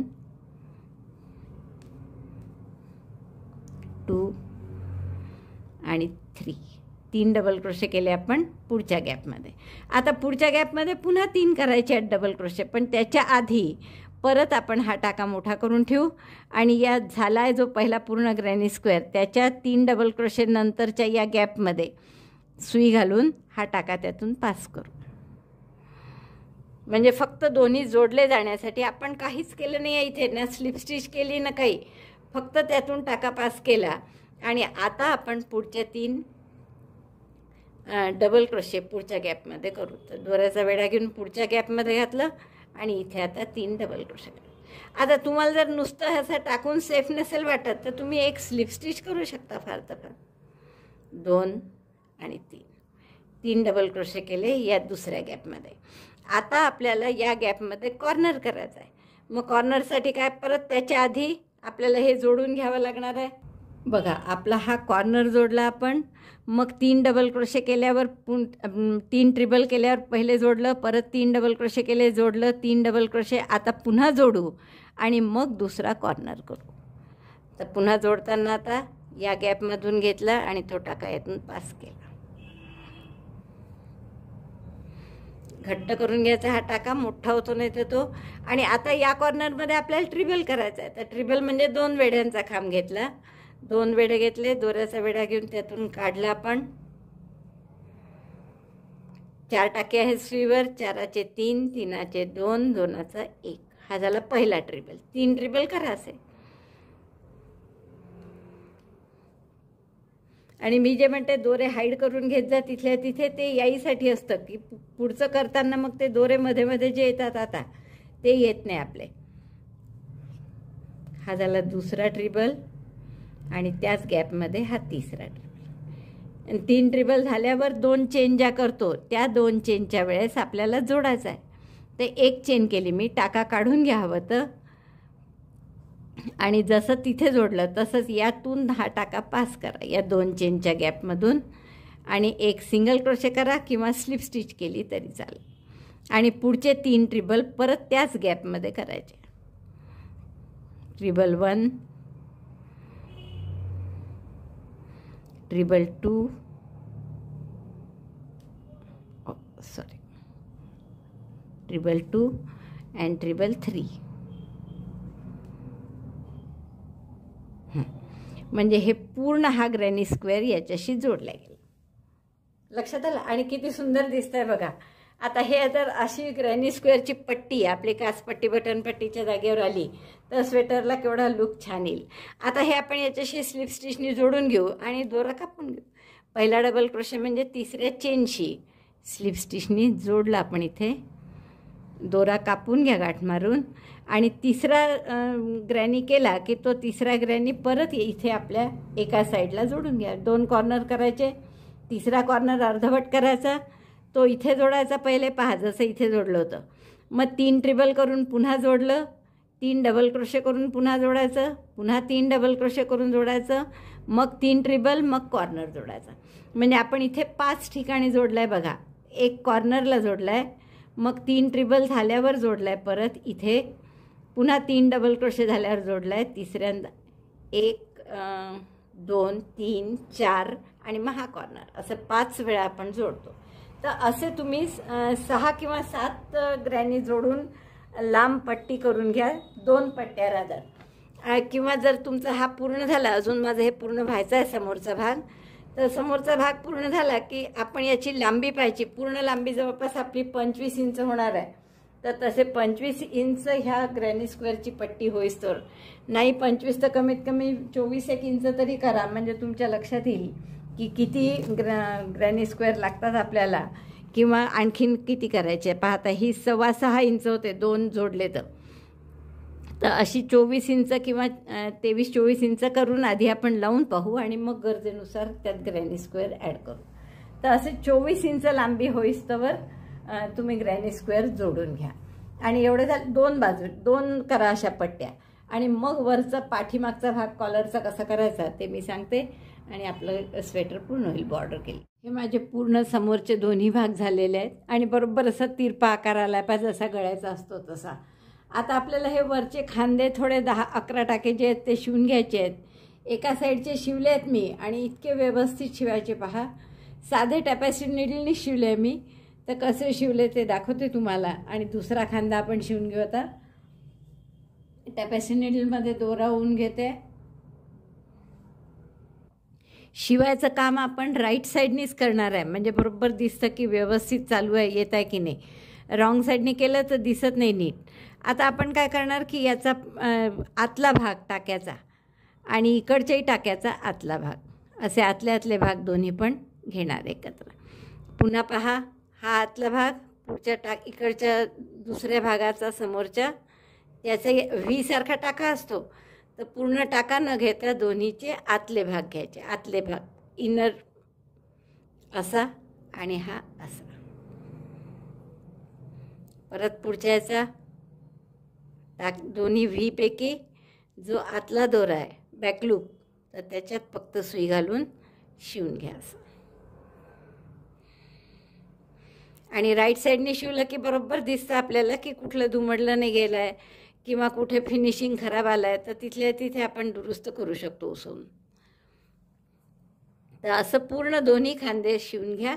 आणि यानंतर आता पूर्ण बटनपट्टी काचपट्टीचा जो भाग आहे आलेला तर तिथे आपल्याला फक्त हे करायचं आहे सिंगल क्रोशेचा राऊंड करायचा आहे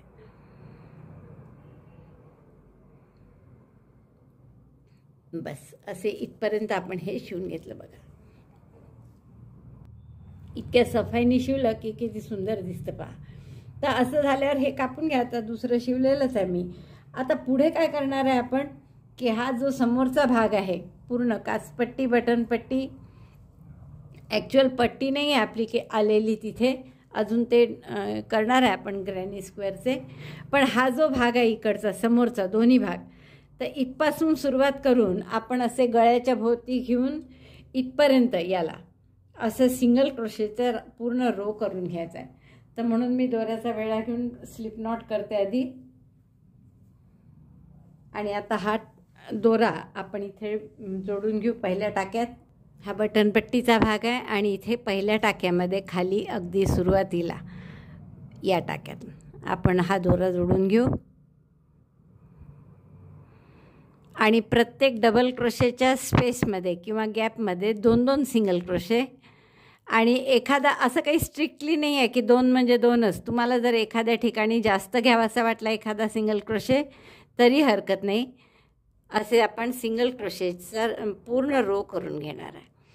कुठे तुमच्या लक्षात आलं असेल पूर्ण काचपट्टीचा भाग गळ्याच्या मागचा भाग बटनपट्टीचा भाग या सगळीकडे आपण प्रत्येक टाक्यात एक एक सिंगल क्रोशे आणि जिथे अशी गॅप आहे तिथे सी डबल क्रोशेची गॅप आहे तिथे दोन दोन सिंगल क्रोशे अशा आता ही डबल क्रोशेची गॅप आहे तर इथे दोन single crochet single crochet one single crochet two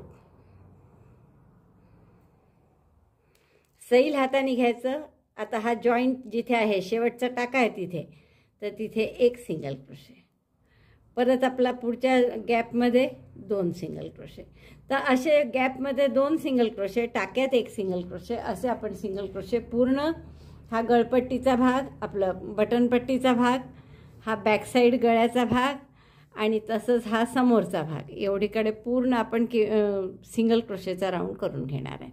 गळ्याचं इकडे मागे नाही केलं तरी चालेल पण हे जे समोर दोन आहे गळ काचपट्टी बटनपट्टीचा भाग आणि खाली पण तर या सगळीकडे आपल्याला सिंगल क्रोशे करून घ्यायचे.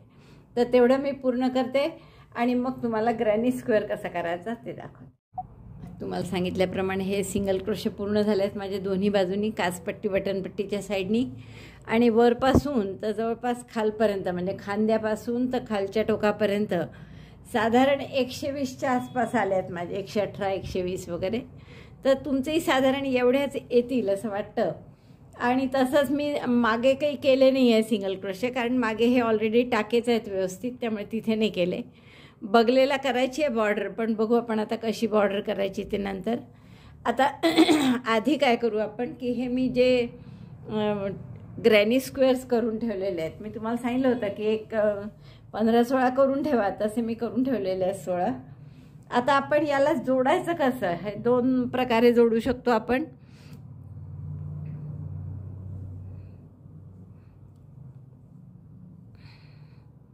मी असे दाखवले आहेत जोडून तुम्हाला दोन. हां. हे जे हे स्लिप स्टिचनी जोडलेलं आहे. तर असं तुम्हाला दिसलं असेल की इथे अशी वर ओळ येते चांगली. थ्री डायमेन्शनलसारखं आणि हे जे आहे ते साध्या टॅपॅस्ट्री निडलनी शिवलेलं आहे. तर तुम्हाला ज्या पद्धतीने आवडेल तसं शिवा. मला हे आवडलं जास्त असं वर आलेल्यापेक्षा एका लेव्हलमध्ये तर मी टॅपॅस्ट्री निडलनी शिवणार आहे पण मी तुम्हाला दोन्ही प प्रकार दाखवते. की कसे शिवायचे ते? करा. तर साधारण आठ आठची ओळ करून घ्या. म्हणजे आठ एका बाजूला जोडून घ्या आठ दुसऱ्या बाजूला किंवा सात जोडा आधी. आणि मग जोडल्यानंतर तुम्ही इथे ठेवून बघायचं आहे असं. कारण नंतर पुढे जाऊन आपल्याला हे याला जोडायचं आहे तर आपण असं ठेवून बघायचं नंतर की किती मावतात. तर साधारण इथपर्यंत खालपासून तर शोल्डरपर्यंत असं. सात किंवा आठ बसतील तर तुम्ही असे लावून पहा आणि झालं की मग मी तुम्हाला दाखवते कसं लावायचं. आठ ग्रॅनी स्क्वेअर आपले असे जोडून झालेले आहेत पहा. तीन आणि तीन सहा दोन आठ. आणि तुम्ही जर इथे ल टाके किती आहेत बघितलं प्रत्येक ग्रॅनी स्क्वेअरला तर तीन ट्रिबल तीन तीन डबल क्रोशन पुन्हा तीन ट्रिबल म्हणजे चार त्रिक बारा हे टाके आहेत. आणि इथे कॉर्नरचे दोन दोन किंवा एक एक जरी घेतलं तर चौदा. आणि आता हे जॉईंट केलं आहे आपण याचा हा पंधरा. तर पंधरा पंधरा टाके आहे एक एका ग्रॅनी स्क्वेअरला. म्हणजे पंधरा आठे वीस असे एकशे वीस होतात बरोबर. आणि हे आपले जर टाके तुम्ही बघाल तर हे सुद्धा एकशे वीसच आहेत जसं मी तुम्हाला आधीच सांगितलं आहे त्याप्रमाणे. त्यामुळे हे सरळ आपल्याला इथे नुसतं असं जोडून घ्यायचं आहे जसं ग्रॅनी स्क्वेअरला ग्रॅनी स्क्वेअर जोडलं तसंच आता या बटनपट्टीला किंवा काचपट्टी जे म्हणाल तुम्ही राईट साईड राईट साईडवर ठेवा. आणि रॉंग साईडनी असं नुसतं परत दोरावून घ्या टॅपॅसी निडलमध्ये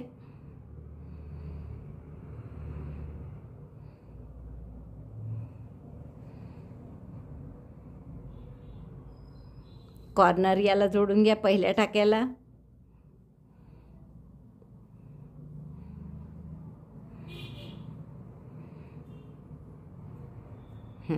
आणि प्रत्येक टाक्याचा बॅकसाईड म्हणजे आतली एक एक टाक्याचा भाग आतच राहायला पाहिजे आणि एक एक भाग फक्त. किंवा हे तुम्हाला जर स्लिपस्टिचनी जोडायचं असेल तर तुम्ही स्लिप सुद्धा जोडू शकता. कारण हे असं दिसायला छान ठसठशी तोळ दिसली इथे तरी छानच दिसेल. तर मी स्लिप सुद्धा जोडू शकता तुम्ही. जसं मी तुम्हाला दाखवलंच आहे दोन ग्रॅनी कसे जोडायचे. तसेच इकडेही टाके टाके आणि इकडेही टाके आहेत तर तुम्ही स्लिप सुद्धा जोडू शकता. तसं मगाशी सांगितलं तसंच की इकडचा टाक्याचा बाहेरचा भाग घ्यायचा. आतला सोडून द्यायचा आतमध्ये आणि इकडचाही बाहेरचा भाग घ्यायचा.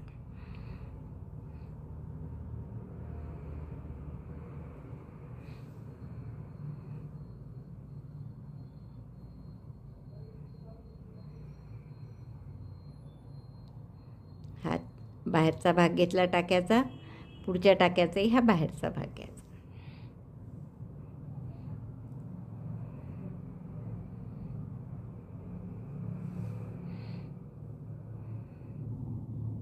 बघा टॅपेस्ट्री निडलने शिवलं तर हे असं दिसणार आहे.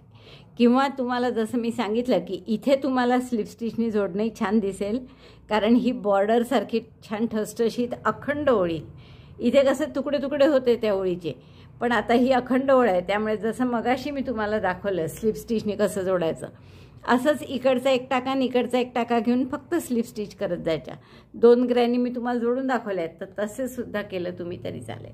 तर मी हे पूर्ण दोन्ही बाजूला आठ आठ असे जो जोडून घेते बरोबर वरपर्यंत आलं पाहिजे शोल्डरपर्यंत.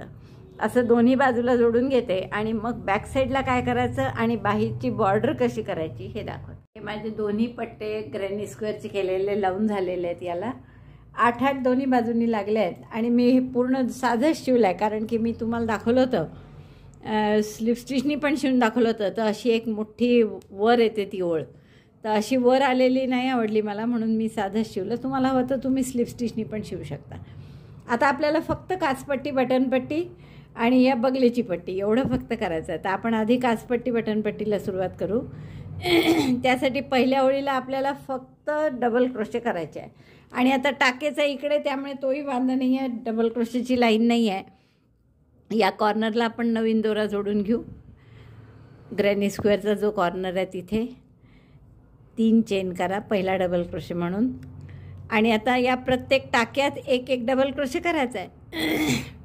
Double crochet one in each stitch one आणि टाके असल्यामुळे आता काही प्रॉब्लेमच नाही आहेत काहीतरी सोळा सोळा येतील प्रत्येक याच्यात पंधरा सोळा पंधरा सोळा. आणि आठ आहे म्हणजे एकशे वीसच्या आसपास या बाजूनी. तसेच त्या बाजूनी सलगच करा पूर्णमध्ये काही आणि तसेच पाठीमागे. पाठीमागे सुद्धा टाके आहेत पहा. मागे पण हे टाके आहेत त्यामुळे या टाक्यात एक एक डबल क्रोशे करत जायचं. तर एवढं मी पूर्ण डबल क्रोशेची ओळ करून मग दाखवते. सिंगल क्रोशेची आपली ओळ सॉरी सिंगल क्रोशेने डबल क्रोशेची ओळ पूर्ण झाली आपली. साधारण एकशे वीस एकशे वीस इकडे आले आहेत. आणि मध्ये किती आहेत? बावीस की किती? सहा तीन नऊ तीन बारा पंधरा अठरा एकवीस.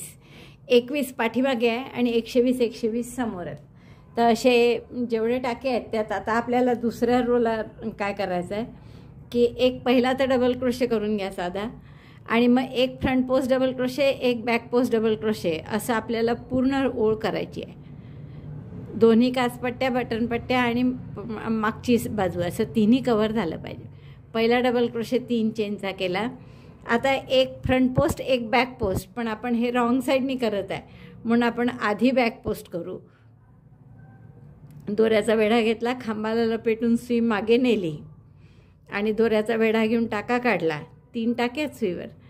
तीनाचे दोन आणि मग दोनाचा एक. हा झाला बॅक पोस्ट डबल क्रोशे याच्यानंतर फ्रंट पोस्ट डबल क्रोशे दोऱ्याचा वेढा घेऊन सुई अशी घेतली खांबाला लपेटून टोक समोर. दोऱ्याचा वेढा घेऊन टाका काढला. तीन टाक्यात.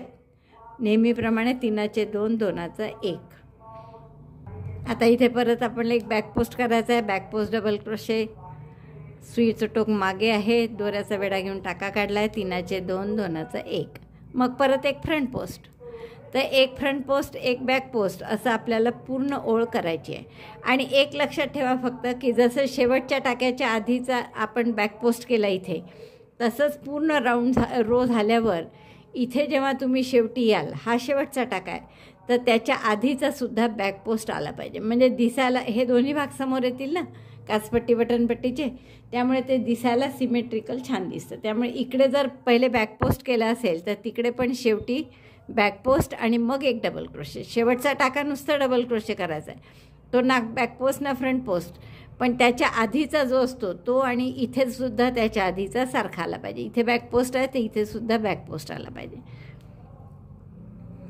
एक बॅक पोस्ट डबल क्रोशे एक फ्रंट पोस्ट डबल क्रोशे तर अशा तीन ओळी किंवा जसं तुम्हाला हव्या असतील तीन किंवा चार मला वाटतं तीन पुरे झाल्या. तीन ओळी करू आपण अशा फ्रंट पोस्ट बॅक पोस्टच्या आणि जसं पुढची ओळ कराल तर जे जो आपल्याला फ्रंट पोस्ट दिसतो आहे असं छान दिसेल हे. आणि जेव्हा याच्या नंतरची ओळ करा तर जेव्हा हा खांब असा वर आलेला दिसतो तो तिथे फ्रंट पोस्ट करायचा. म्हणजे इथे तुम्हाला फ्रंट पोस्ट करावं लागेल.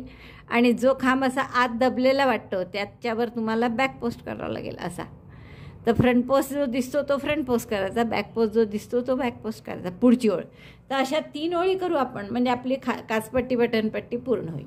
आता हे झालं की मग तुम्ही हे खालचे सगळ्या टाक्यांना परत एक ओळ खांब साध्या डबल क्रोशीची त्यानंतर दोन ओळी एक फ्रंट पोस्ट एक बॅक पोस्ट अशा दोन ओळी. म्हणजे इथे पण अशी छान छोटीशी एक दीड इंचाची बॉर्डर येईल. आणि मग तशीच आपल्याला बगलेलासुद्धा करायची आहे.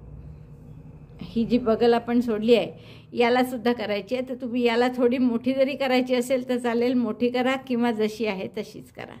फक्त एक लक्षात घ्यायचं की याच्यात राऊंडमध्ये करावं लागेल आपल्याला. त्यामुळे इव्हन नंबर टाकायचा पाहिजे आणि ऑड नंबर असेल तर दोनाचा एक करून घ्या. म्हणजे इव्हन नंबर होईल आणि मग तुम्हाला एक फ्रंट पोस्ट एक बॅक पोस्ट चांगलं करता येईल. इथे एक साधा डबल क्रोशे येणार नाही. जसा इथे आला जसा तसा. इथे कसा सुरुवातीला एक साधा डबल क्रोशे केला आपण आणि मग फ्रंट पोस्ट बॅक पोस्ट सुरू केला. तसं राऊंडमध्ये येणार नाही. डायरेक्ट एक फ्रंट पोस्ट एक बॅक पोस्ट पहिले दोन चेन केल्या तरी तो आपण डबल क्रोशे धरत नाही. आणि जर समजा आता इथे शेवटचा करताना जसं मी तुम्हाला सांगितलं की डबल क्रोशेच्या आधी तिकडे बॅक पोस्ट केला आहे तर इकडे रॉंग साईडने बॅक पोस्टच करायचा. तर हा जर बॅक पोस्ट येत नसेल तर काही टाके थोडे उसवून घ्या. कुठेतरी दोनाचा एक करा. म्हणजे बरोबर हा बॅक पोस्ट आला पाहिजे. म्हणजे एक टाका कमी करून घ्यायचा. म्हणजे जेणेकरून डिझाईन दिसायला सारखं दिसलं पाहिजे दोन्ही बाजूला. तर मी या सगळ्या पट्ट्या पूर्ण करते. काचपट्टी बटनपट्टी खालची पट्टी आणि बगलेची पट्ट्या. आणि मग पूर्ण झालं की तुम्हाला बटन लावून दाखवते. हा आपल्याला सांगितल्याप्रमाणे हे जॅकेट पूर्ण झालं आहे बघा माझं. खूपच सुंदर दिसतं आहे हे.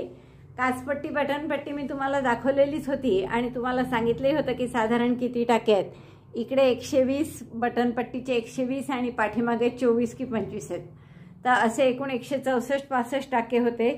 आणि करताना मी तुम्हाला ही काळजी घ्यायला सांगितली होती की पहिले जर आधी फ्रंट पोस्ट असेल तर दोन्ही बाजूचा फ्रंट पोस्ट झाला पाहिजे. तसंच खालची पट्टी करताना सुद्धा केलं आहे आपण. खालची पट्टीसुद्धा एक फ्रंट पोस्ट एक बॅक पोस्ट अशीच केलेली आहे. आणि खालच्या पट्टीत जवळपास एकशे ऐंशी ते ब्याऐंशी असे टाके असतील तुमचे या खालच्या पट्टीसाठी. ही जी खालची पट्टी आहे यासाठी. आणि इथे सुद्धा एवढंच लक्षात घ्यायचं की पहिला साधा डबल क्रोशे असतो पण नंतर जर बॅकपोस्ट घेतला असेल पहिल्या दुसऱ्या सुईला तर इथे सुद्धा तसंच आलं पाहिजे. म्हणजे डिझाईन दिसायला सिमेट्रिकल दिसतं. आता बगलेची पट्टी जी केली मी दोन्हीकडनं ती पण तीच आहे. एक फ्रंट पोस्ट एक बॅक पोस्ट फक्त आता हे राऊंडमध्ये केलेलं आहे. आणि राऊंडमध्ये केलं असल्यामुळे ते थोडं डिझाईनने दिसायला आणखीन सुपरफिशियल दिसतं. खूप सुंदर दिसतं मित्रांनो. फक्त आता थोडंसं आपण इथे काय लक्षात ठेवायचं आपला आकार कसा होता याचा इथे सरळ आणि इकडनं असं इथे पण सरळ एकदम कट होता असा राईट अँगलमध्ये तर थोडा गोलाकार येण्यासाठी इथे आपण तिनाचा एक केला आणि त्याचप्रमाणे इथे पण तिनाचा एक केला. म्हणजे थ्री डी सी टॉक केला. इथे एका कोपऱ्यात जिथे आपला खालचा भाग होता ना तो जोडला जातो तिथे. आणि इथे सुद्धा एकदा तिनाचा एक केला थ्री डी सी टॉक. बाकी तसंच केलं आहे पहिला डबल क्रोशेची ओळ. राऊंड नंतर एक एक ए फ्रंट पोस्ट एक बॅक पोस्टचा राऊंड आणि फ्रंट दुसरा मग फ्रंट पोस्टवर फ्रंट पोस्ट बॅक पोस्टवर बॅक पोस्ट असे तीन राऊंड करूनच ही पण बगल बगलेच्या दोन्ही पट्ट्या केल्या. आहे आणि हे आर्म होल बँड म्हणतात त्याला. आणि हे खूप सुंदर असं स्वेटर तयार झालं आहे आता तुम्हाला जर फिटिंगला करेक्ट झालं असेल तर तुम्ही इथे बटनसुद्धा लावू शकता. खूप सुंदर दिसतं बटन लावलं तरी. पण तुम्हाला जर थोडं फ्री हवं असेल तर तुम्ही अशी कॉड घालून ठेवा. म्हणजे जेणेकरून लहान मोठ्या कोणत्याही साईजला ते फिट होईल. तर असं खूप कॉड घातल्याने आणखीन छान दिसतं. या कॉटच्या शेवटी मी असे मणी लावले आहेत लाकडी. तुम्हाला हवे असतील तर तुम्ही असे पफचे फ्लॉवर्स करून जसे आपण जांभळ्या जॅकेटच्या वेळेस लावले होते तसेसुद्धा लावू शकता. आणि अतिशय सुंदर असं हे जॅकेट तुमचं तयार होईल. अगदी आकार त्याचा खूप सुंदर येतो त्यामुळे फिटिंगलाही खूप छान बसतं हे. गळ्याचा आकार अतिशय सुंदर आलेला आहे. त्यामुळे फिटिंगला एकदम छान बसतं. तर असं हे जॅकेट करायला नक्कीच तुम्हाला खूप आवडेल. आवडलं असेल तर थमदाबून लाईक करा शेअर करा आपल्या मित्रमैत्रिणींना. चॅनल अजूनही नसेल सबस्क्राईब केलं तर प्लीज चॅनल सबस्क्राईब करा. व्हिडिओ बघितल्याबद्दल धन्यवाद. थँक्यू.